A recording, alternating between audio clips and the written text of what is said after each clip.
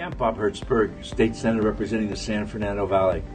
November 24th is an important day, and I'm taking a moment to remind you to shop small.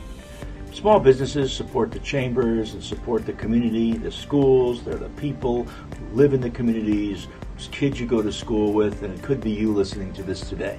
Shop small. We end up giving so much business to the big companies that ship those profits out, out of the community. And by supporting the community, by supporting small businesses, you're supporting the community, you're supporting yourself, you're supporting uh, our own backyard and all of the organizations that work so hard to make the community a great place. Shop small, don't forget, November 24th.